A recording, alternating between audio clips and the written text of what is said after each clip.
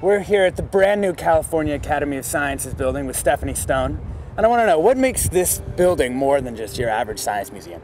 Well, for one thing, the architecture is pretty stunning. It was done by Renzo Piano.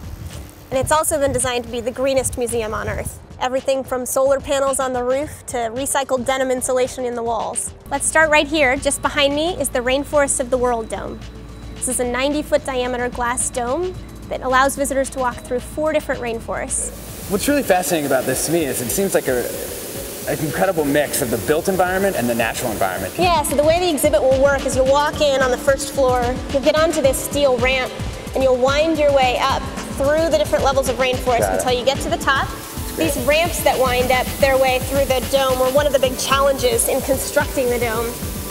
As you can see, they have a lot of complex curves, and the radius of the dome is constantly changing, so figuring out how to bend the steel for these ramps was a real challenge. We ended up going to a roller coaster manufacturer to ask them to bend the steel for us. And all the steel in this building is recycled. 100% of the steel is recycled steel. So what are we seeing in this sort of space age piazza that we're looking at? This is the central courtyard for the Academy. It's also a crucial part of the natural ventilation scheme. We don't have any air conditioning on the public floor, so we rely on the natural environment around us to cool the space. So as cool air drains down the slopes of the hills on the living roof, it drops in here to the piazza and then there are louvered windows all the way around the sides of the building that open to funnel that fresh air out onto the exhibit floor. The glass that's around the perimeter of the top here is supported by this cable net structure rather than by columns. Renzo Piano felt very strongly he wanted this space to be an open space that wasn't interrupted by columns. So he used this cable net structure to support the glass, and he said he drew his inspiration from a spider web. It uses the same principles of tension as a spider web. So I can see a little bit of the, the hills around here popping out. Can you show us the, the living roof? Yeah, absolutely. Let's just go upstairs and take a look.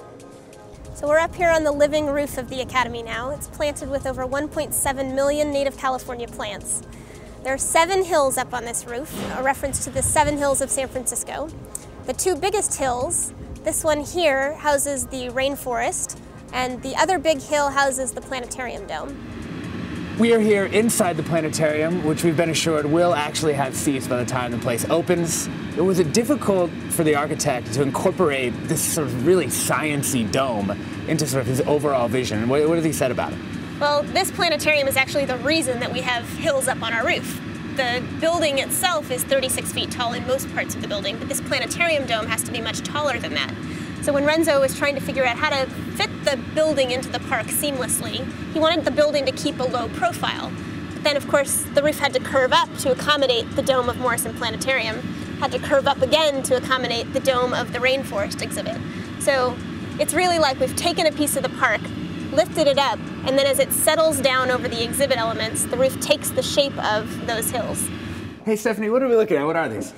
Well, these are cabinets for our store, and they're an example of the sustainable materials that we're using in the building. They're made out of cypress trees that have fallen down. Well, where do you get like a bunch of cypress trees that have fallen down? We actually get them right in our backyard in Golden Gate Park. So clearly this is still under construction, but uh, what are you actually building? African Hall is 21 dioramas, and they're recreated from the originals, the same taxidermy animals that were there back in the 1930s. But we've added a few little surprises. We've added some live animals into some of the dioramas. We've like added some kind? new technology. Well, you'll see at the end of the hall there's a colony of African penguins, which are sure to be favorites here. We're underneath the rainforest dome inside a tube where you can kind of look up and see what's supposed to be a model of the Amazonian rainforest. Exactly. Um, and I have to say, it kind of reminds me of that hotel in Dubai that has this huge underwater sort of restaurant. Yeah, you know, that hotel was actually a problem for us as we were constructing this building because there are only two companies in the world that make acrylic for aquariums like this. That hotel used so much acrylic that there was a backlog on the global orders of acrylic. So how thick are we talking? I mean, is it like, like It depends on the window. This one's only about four inches thick here, but the acrylic over on the other side of the elevator is 17 inches thick. The reason that this window doesn't have to be as thick is that the curvature of the tunnel diffuses the pressure. Oh. I think some of the fish are kind of scary looking. Those little guys are actually piranhas, Really? but they're vegetarian piranhas, so they're not very menacing. It's nice, huh? Yeah.